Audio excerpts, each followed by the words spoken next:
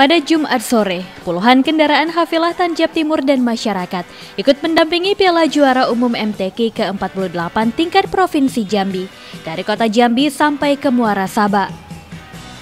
Piala yang diarak ini merupakan hasil kerja keras pemerintah, pelatih dan ofisial serta dukungan doa masyarakat sehingga Tanjab Tim berhasil meraih juara umum pada kegiatan MTQ tingkat Provinsi Jambi ke-48 yang dilaksanakan di Kabupaten Batanghari.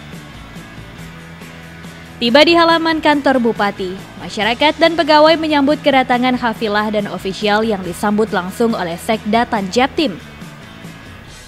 Ketua kontingen sekaligus asisten dua Sekda Tanjabtim mengucapkan terima kasih atas sambutan yang diberikan. Kesuksesan yang diraih Kori dan Koriah Tanjabtim ini berkat kerja keras semua elemen mulai dari bupati, pelatih, dan ofisial, serta dukungan doa tulus dari lapisan masyarakat Tanjabtim.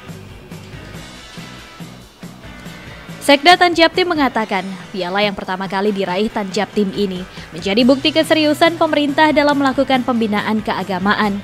Pemerintah berkomitmen akan terus memperhatikan Kori dan Koriah yang telah berjuang mengharumkan nama baik daerah dengan memberikan bonus dan perhatian pendidikan kepada hafilah yang masih mengenyam pendidikan.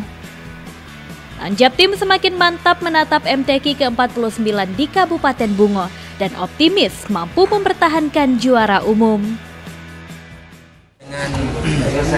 dengan kemampuan keuangan kita yang pasti untuk seluruh kapila berprestasi itu akan mendapatkan bonus dari pemerintah kabupaten dalam bentuk uang dan ada juga mungkin yang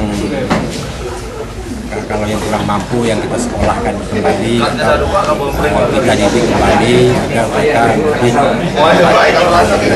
saing dan berkompetensi dibanding dengan peserta atau Agus Rasau, Jambi TV.